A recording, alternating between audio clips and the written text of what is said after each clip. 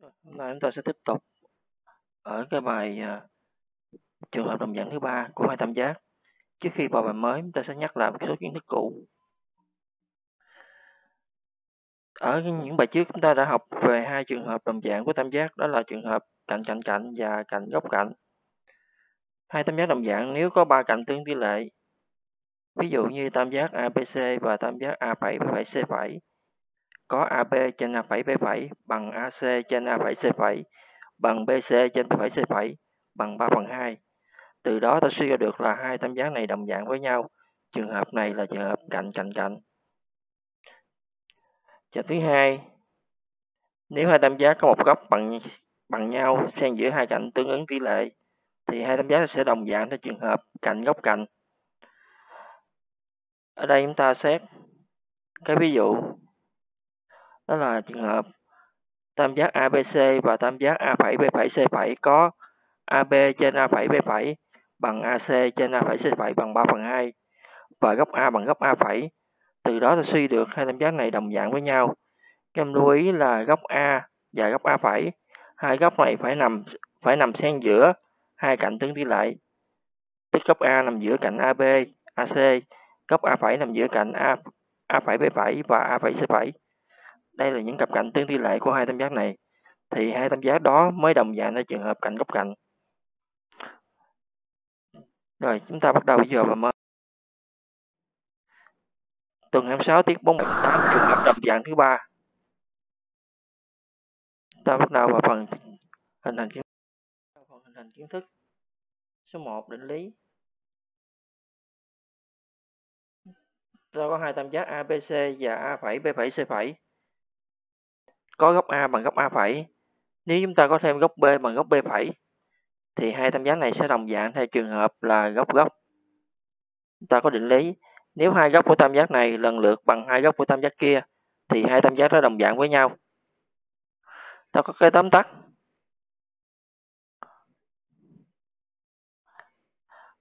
Góc A bằng góc A phẩy, góc B góc B phẩy thì từ đó ta suy ra được là tam giác ABC đồng dạng tam giác A phẩy B phẩy C phẩy. Ở đây chúng tôi thầy hướng dẫn em một cái cách trình bày một bài chứng minh hai tam giác đồng dạng theo trường hợp góc góc như sau. Đầu tiên là chúng ta xét tam giác ABC và tam giác A phẩy phẩy C phẩy. Ta có lấy ví dụ ở trong trường hợp này thì ta có là góc A bằng góc A phẩy, góc B bằng góc B phẩy. Từ đó ta kết luận là tam giác ABC đồng dạng tam giác A phẩy B phẩy C phẩy theo trường hợp góc góc. Đây là cách trình bày một bài chứng minh. Các em lưu ý ký hiệu đồng dạng ta ghi cho đúng.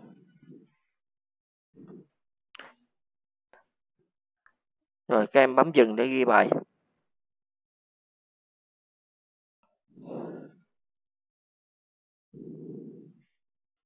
Ta tiếp tục.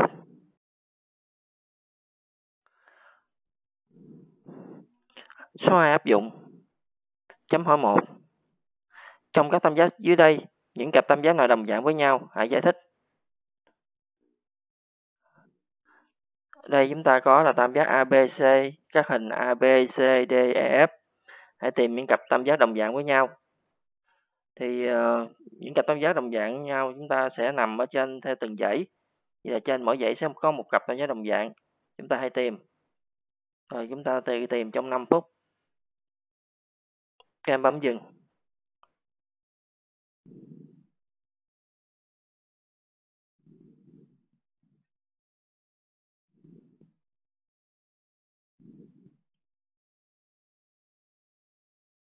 Rồi, vậy sau khi hết 5 phút chúng ta sẽ bắt đầu tiếp tục. Là chúng ta nhìn thấy là ở trên cái dãy đầu tiên gồm ba hình ABC chúng ta sẽ thấy là chúng ta có những cặp tam giác nào đồng dạng với nhau nè. Đó là tam giác ABC và tam giác BMN hai tam giác này tại sao đồng dạng? Ở đây chúng ta cũng nhìn thấy điều là các tam giác ở cái dãy ở trên đều là tam giác cân. Tam giác ABC cân tại A tam giác DEF cân tại D, tam giác BMN cân tại B. Ở cái hình đầu tiên hình A, do góc A bằng 40 độ mà tổng ba góc trong tam giác là 180. Do đó hai góc B và C còn lại sẽ có tổng số đo là 140. Mà hai góc BC là hai góc ở đáy tam giác cân thì nó sẽ bằng nhau. Do đó mỗi góc là 70. vậy là góc B bằng góc C bằng 70 độ ở đây ở hình B thì ta thấy là góc D 70 thì do đó hai góc ở đáy này sẽ có tổng số đo là 110 độ, mỗi góc 55 độ. Do đó nên hai hình này là không có đồng dạng với nhau. Ở cái hình C, tam giác BMN tam giác BMN cân tại B. Thì khi đó là hai góc ở đáy là M bằng với N. Góc M 70 vậy góc N 70 vậy là hai góc M và N bằng nhau bằng 70 bên đây góc B và góc C cũng bằng 70 do đó nên hai tam giác ABC và BMN đồng dạng với nhau lưu ý là ABC và BMN còn ở cái hình DEF ở dưới, chúng ta sẽ tính ra những góc còn thiếu, từ đó sẽ tìm ra được những cặp tam giác đồng dạng. Ví dụ, ở đây tam giác A B C thì góc A là 70 góc B là 60 do đó tổng hai góc này là 130 do đó góc C còn, góc C còn lại là 50 độ. Còn ở hình E tam giác D E F có góc E7 là 60 góc F7 là 50 cộng lên 110 vậy góc D7 sẽ là 70 độ. Như vậy là ta hình D và hình E là hai tam giác đồng dạng. Tam giác A7, B7, C7 đồng dạng tam phát tam giác D7, E7, F7. do góc D7, góc A7 bằng góc D7 bằng 70 độ góc B7 bằng góc E bằng 60 độ. Còn ở hình này rõ ràng là không đồng dạng. Góc B7 50 góc này góc N7 là 65 thì không có bằng với góc bên đây. Góc này không bằng thì dẫn đến góc trên này cũng không bằng luôn. Do đó chỉ có hình D với hình E là đồng dạng. Rồi, chúng ta tiếp tục.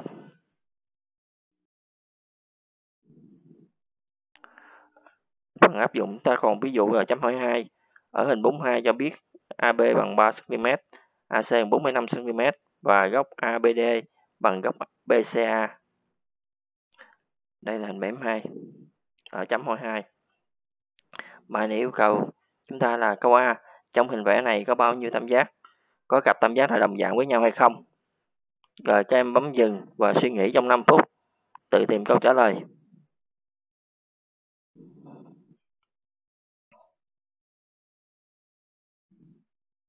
Rồi, sau khi hết 5 phút chúng ta tiếp tục. Giờ trong hình này, chúng ta có tất cả là ba tam giác tam giác ABC là tam giác lớn tam giác ADB tam giác nhỏ và cuối cùng tam giác DBC tam giác dưới này. Có ba tam giác. Ở đây chúng ta có hai có một cặp tam giác đồng dạng đó là tam giác ABC A, à, à, A, ADB đồng dạng với ABC ADB đồng dạng với ABC thì tại sao đồng dạng thì chúng ta sẽ tìm hiểu ở câu kế tiếp. Câu B. Hãy tính độ dài x và y. AD là x. DC là y. Thế này sẽ tiên lúc này sẽ liên quan tam giác đồng dạng. Các em bấm dừng và làm bài trong 5 phút. Đã có gợi ý lại tam giác đồng dạng rồi, các em tự tìm tự chứng minh.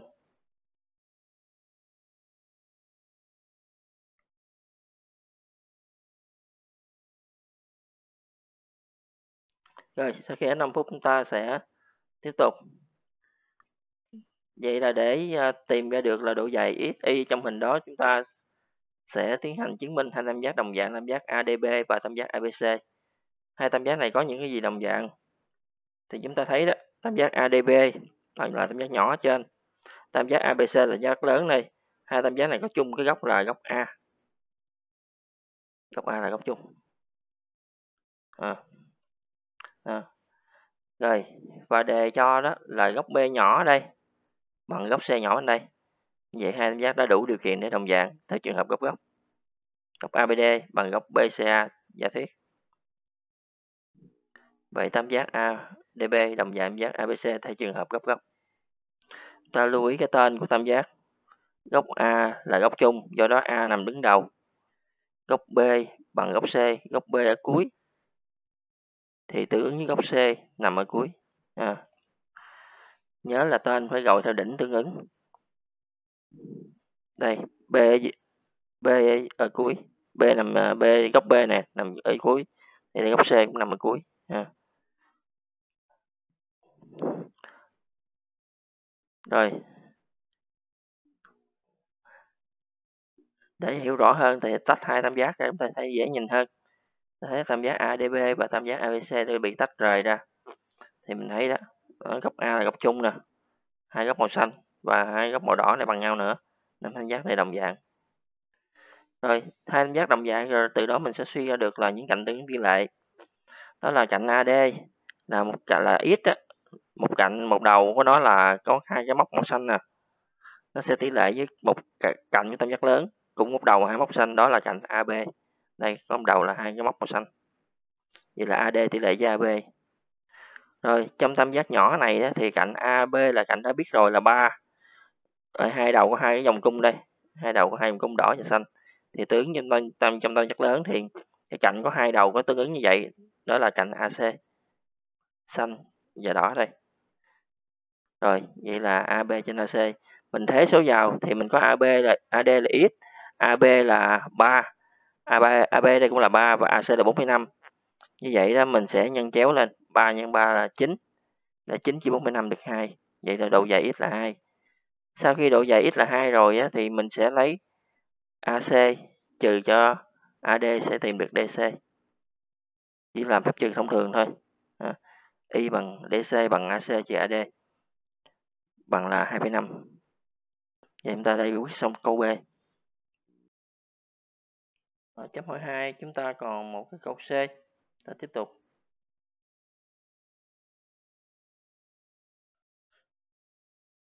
Cho biết BD là tia phân giác của góc B hãy tính độ dài các đoạn thẳng BC và BD rồi, ta thấy BD là tia phân giác của góc B. Rồi, hướng dẫn sơ qua để các em có thể tự làm. Đó là do là BD là tia phân giác của góc B, nên hai góc nhỏ này B1 B2 thì sẽ bằng nhau. Mở đề cho thì góc B ban đầu này đã bằng góc C đây. Từ đó ta suy góc B2 này bằng góc C hai góc này bằng nhau thì suy ra tam giác DBC là tam giác cân. Tam giác cân thì hai cạnh bên bằng nhau tức là cạnh DB bằng cạnh DC bằng 2,5 cm rồi sau khi có DB rồi đó mình sẽ sử dụng tam giác đồng dạng. Cái tam giác cặp tam giác đồng dạng đã làm ở câu B ở trên để chúng ta tìm độ dài đoạn BC rồi các em bấm dừng và làm bài trong 5 phút.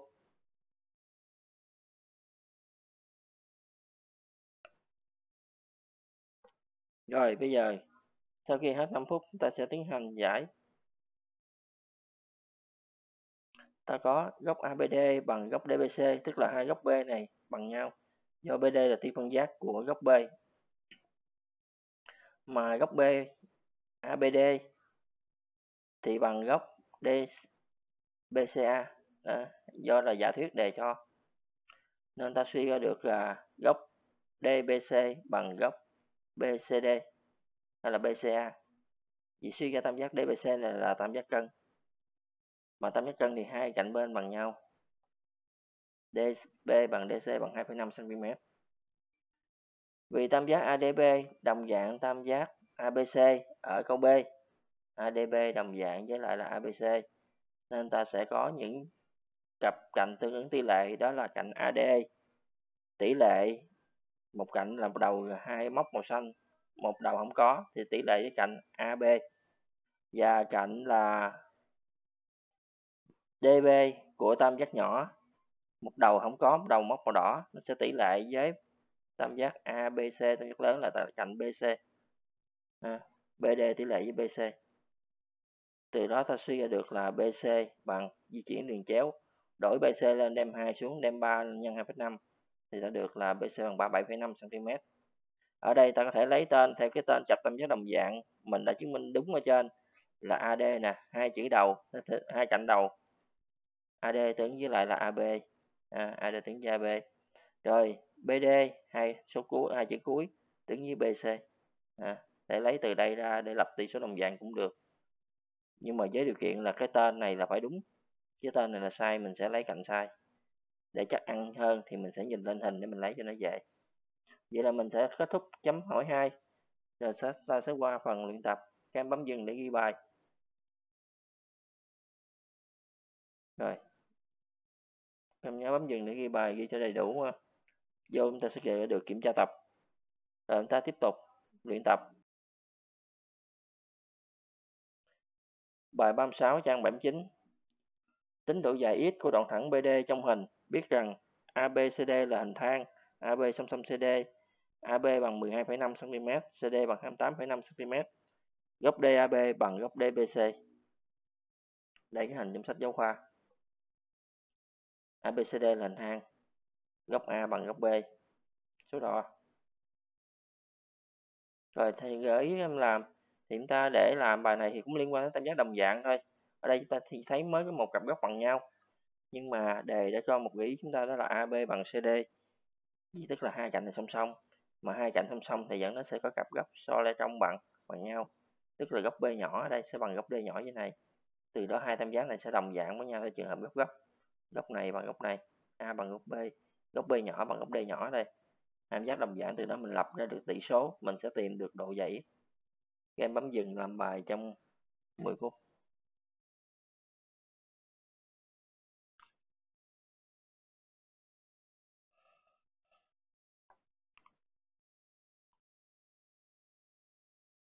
Rồi ta tiếp tục giải.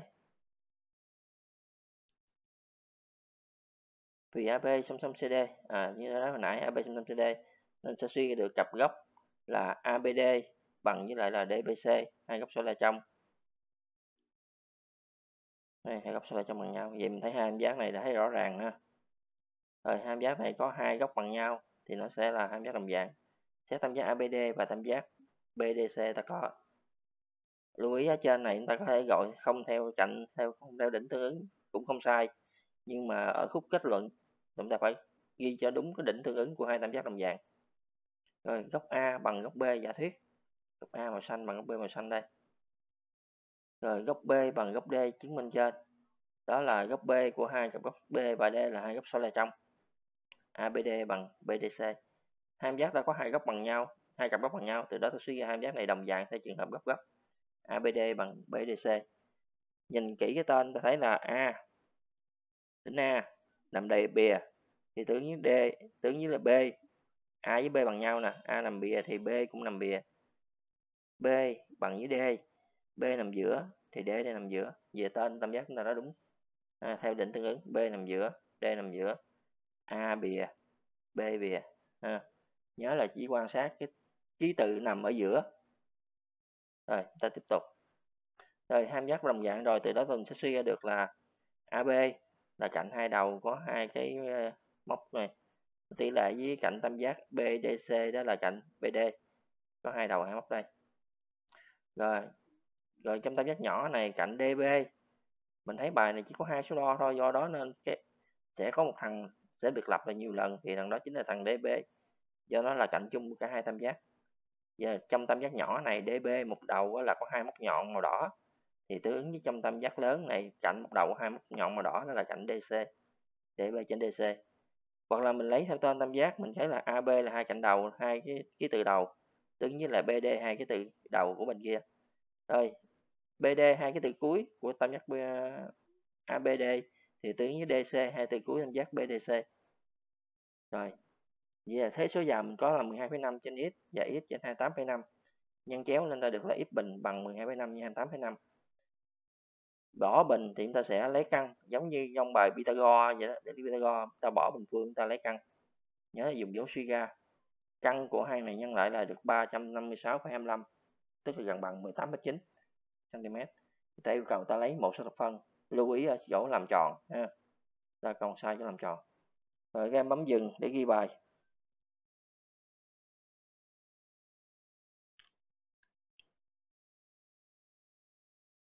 Người ta tiếp tục. Ở đây chúng ta có thể tách cái tam giác ra cho dễ nhìn một lần nữa. Ta thấy hai tam giác được tách ra. Để thấy ha à, hai góc bằng nhau hai giác đồng dạng. Và mình thấy là cạnh này hay là màu hai AB nè tỷ lệ với AB đây. Rồi cạnh này đầu màu đỏ cạnh này đầu màu đỏ thôi. Đầu có hai móc đỏ thì tưởng như đây đầu hai móc đỏ. À, tách ra cho chúng ta dễ nhìn. Rồi ta tiếp tục ở trong bài tập. Rồi chúng ta tiếp tục bài 38 sách giáo khoa trang 79 tính các độ dài XY của các đoạn thẳng trong hình. Chúng ta có hình ờ, như trong sách giáo khoa. Tính độ dài XY đó là độ dài đoạn BC và đoạn CE thì cái hình này chúng ta rất là quen thuộc. Ta đã làm ở những bài trước rất là nhiều trong bài định lý Talet à, bài hệ quả định Talet ta làm rất là nhiều do đó chúng ta cũng không cần sử dụng đánh giá đồng dạng, vẫn có thể giải được. Nên các em do bài này chúng ta không cần hướng dẫn nhiều, ta có thể là tự làm. Các em bấm dừng và làm bài trong 5 phút.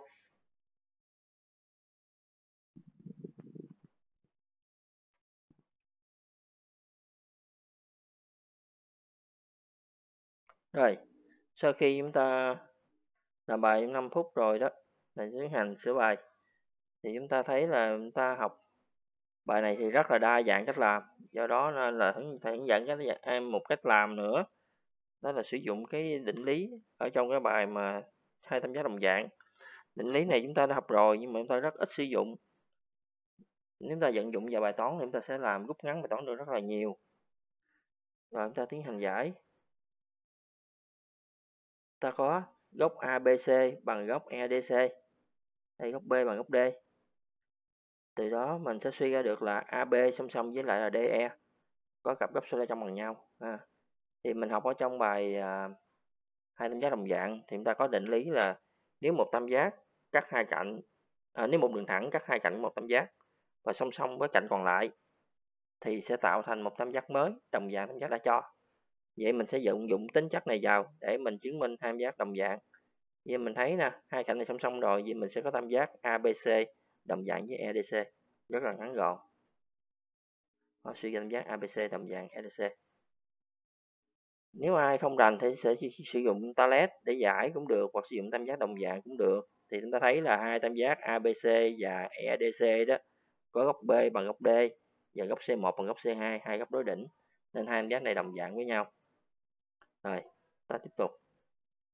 Nếu hai tam giác đồng dạng là mình sẽ suy ra được là BC BC là độ dài x này tỷ lệ với lại là DC à, BC DC trên cùng một đường thẳng. Dạ, Và AB là cạnh thứ ba có tam giác trên tỷ lệ cạnh thứ ba tam giác dưới là e, ED thế giờ mình có là x trên 3,5 3 trên 6 di chuyển lên vậy là 3,5 nhân 3 chia 6 được 1,75 đơn vị độ dài. Lưu ý bài này người ta không cho cm thì mình để đơn vị độ dài. Rồi tiếp tục để tính y thì cũng tương tự hai cạnh này xong xong rồi hai cái này đồng dạng rồi mình sẽ có là AC trên CE bằng AB trên DE hoặc là nhiều cách khác. Đây, AC trên CE bằng AB trên DE thế vào mình có là 2 trên Y 3 trên 6 thì mình sẽ được Y bằng là 4 vậy là mình đã xong cái phần bài tập. Rồi sẽ phần hướng dẫn.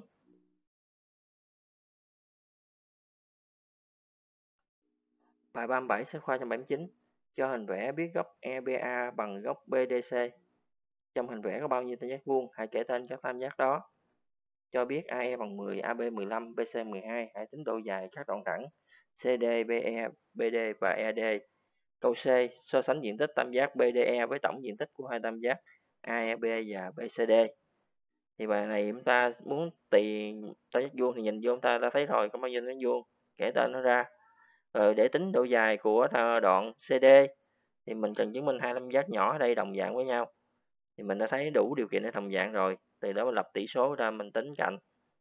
Tính cạnh xong mình áp dụng các định lý Pythagore cho từng tam giác mình tính ED, EB, BD sau đó mình sẽ chứng minh cái tam giác này vuông rồi tính được ED rồi so sánh diện tích vân vân. Rồi ta sang ờ, hướng dẫn kế tiếp. Là bài 30 ta tiến hành tiếp tục là bài 39 trang 79 cho hành thang ABCD, AB song song CD, gọi O là giao điểm của hai đường chéo AC và BD, chứng minh rằng OA nhân OD bằng OB nhân OC. Câu B, đường thẳng của O vuông góc với AB và CD theo thứ tự tại H và K. Chứng minh OH trên OK bằng AB trên CD. Thì cái hình vẽ này chúng ta đã quen thuộc rồi, chúng ta cũng mới vừa làm hồi nãy, gần gần tương tự hồi nãy. Thì chứng minh thì chúng ta cũng làm tương tự như là, là ở cái cái bài 38 à, làm tương tự bài 38 để chứng minh à, câu A. Sau khi xong chúng ta sử dụng câu câu B thì chúng ta sẽ đòi hỏi là cấp độ cao hơn một tí. Thì chúng ta cũng tìm ra tam giác đồng dạng rồi lập những tỷ số. Chúng ta thấy là OH trên OK bằng ABCD thì chắc ăn chỗ này là sẽ qua một cái cạnh trung gian, một cặp tỷ số trung gian, nó tìm cặp tỷ số trung gian đó để nối hai cái này lại với nhau, để nối OH trên OK và AB trên CD lại với nhau. Các em về nhà tự làm. Rồi tiết học sau chúng ta sẽ sửa. Rồi chúng ta tới phần cuối cùng, đó là phần hướng dẫn à, dò. Các em tham gia học tập trên mạng nghiêm túc làm các bài tập được yêu cầu nắm vững các kiến thức về ba trường hợp đồng dạng của hai tam giác. Các em nhớ vào phần kiểm diện ở dưới bài học. Làm các bài tập 37, 39, 40 sách giáo khoa trang 79, 80 khuyến khích học sinh khá giỏi thực hiện bài 41, 42, 43 trang 80 vậy tuần sau chúng ta sẽ vào học và sẽ được kiểm tra tập vở. Em nhớ về nhà làm bài ghi bài tại bài tập bài học cho đầy đủ và cẩn thận. Rồi chào các em.